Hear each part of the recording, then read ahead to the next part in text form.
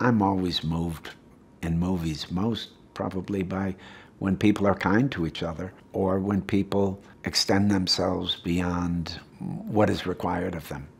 I guess that's what heroism is. So why does Seppala take his 12-year-old dog that he loves and take this very dangerous journey? He sees a need. He sees the thing that he loves to do can maybe help other people. And it's really that simple, even though it may put him in danger and put the thing he loves in danger. So that's a very rich mix. The Seppala that you see at the very beginning, well, it cuts between flashbacks and, and, and the serum run.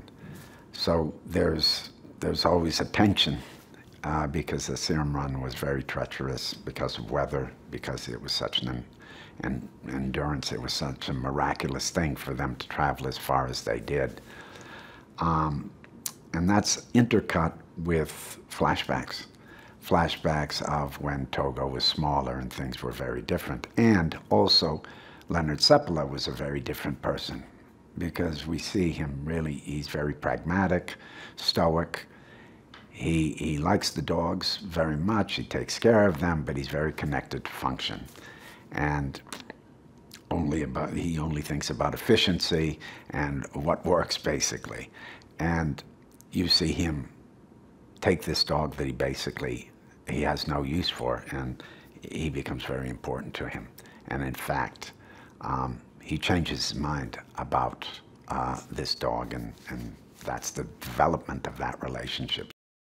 We got really lucky with Julianne Nicholson. She's she's really great, um, and I love playing the scenes with her. Uh, Constance on one hand, is the classic kind of frontier wife, but she also, she's as strong as Seppala, if not stronger, because she understands the things he understands, but also has a certain sensitivity that he doesn't quite have in his work. He's very pragmatic, so in some ways, at the beginning, you see him quite, quite closed, quite laconic, and she's much more perceptive toward the animals. For example, she anticipates that Togo should not be written off so quickly. And it's really ultimately her that made uh, uh, in our story, be patient with Togo and allowed him to, um, to flower. There's a lot of sequences, action sequences, where I'm mushing, I'm driving this dog sled. And both in winter and in summertime because Seppala trained his dogs off season, which nobody else did. He built a cart so they could pull, so they could stay in good shape, basically. So I had to learn those things. I had to learn how to, uh, of course, deal with the dogs, hook them up, direct them, get a sense for them, know what they responded to, know when they needed water, uh, learn about their uh, body temperature, learn when they were well, learn when they had to rest, those sorts of things.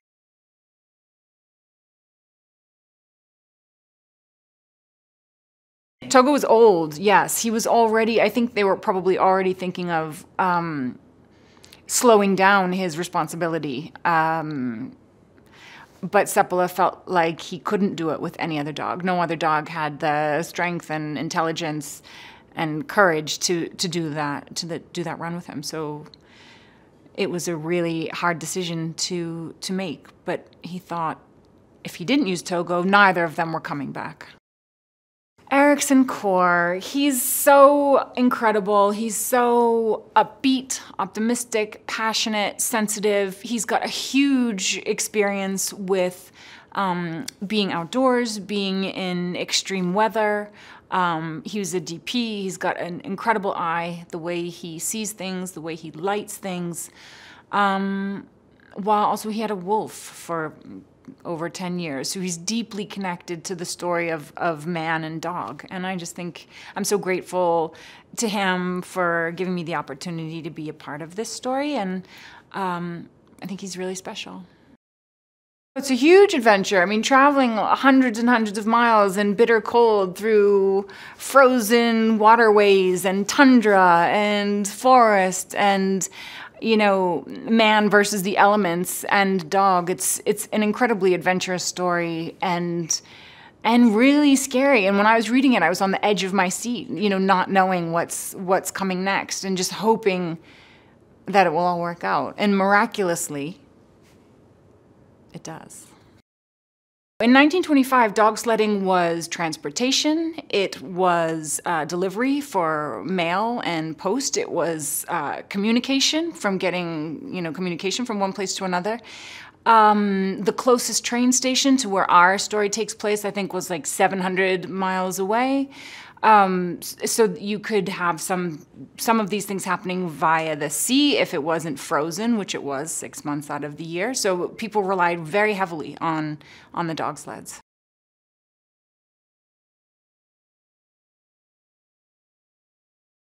The story of, of Seppala and, and Togo are, are extremely unlikely coupling and uh, through all this remarkable resistance of wanting to um, work together, it just can't. They can't stay away from each other, and it's um, when put to the test, as we'll see in the at the height of the of the picture, um, they save each other's lives, and it's it's um,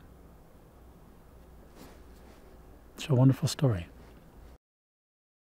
Togo is a wonderful. A, he's a wonderful uh, tale of a of a small dog who was thought to be uh, incapable of being a working dog, would not be strong enough, would not be able to survive under those kinds of conditions, and he was Seppala tried to get rid of him two or three times, and each time the dog found a way back to the human being whom he felt such a connection to and wanted to prove himself to.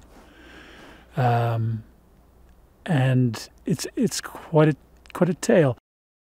The phys- physical demands for for for Willem Dafoe are enormous. Um, but I, I, asked him just a few moments ago. You know, you've been on the sled uh, quite regularly. How are you enjoying it? He's a big smile on his face. Loves it when he's able to stay on. You know, it's a ch- it's a challenge, and um, but he loves it.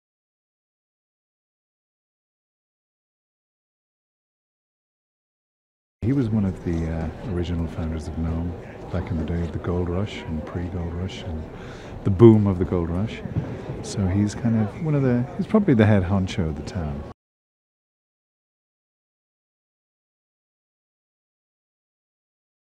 Well, the, the story starts that there's a, very bad storm coming in.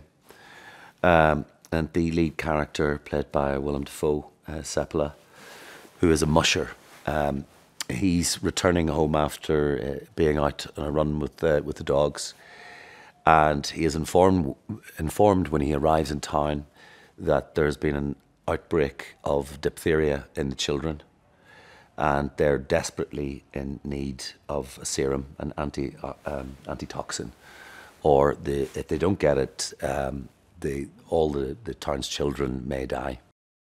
Willem's an amazing actor. I've always been um, had a huge amount of admiration for him, and it's just it's great to work with him. He's very incredibly professional, and uh, he's a very physical actor as well. Um, we're all uh, in awe of him, running around in the snow and flying around with the dogs. Yeah, he's he's, a, he's, he's some guy. Yeah, Ericson's amazing. He's a lovely guy, uh, and he knows what he wants. He's got a great vision, and he's also incredibly inventive and very open to ideas, uh, which is which is perfect for this kind of shoot because you know a lot of things can things don't always go according to plan, but he's completely on top of it, and he's also got a great sense of humour, which really helps. Hey there, it's Lisa here with today's bonus clip. Now, there are a lot of family movies with animals as the protagonists, but not just any animal with man's best friend, dogs. Some of the best family movies with dogs are Homeward Bound, Benji, Air Bud, Beverly Hills Chihuahua, and A Dog's Way Home. What's your favourite dog movie? Let me know below. And remember, click down here to subscribe or on the side for more great content.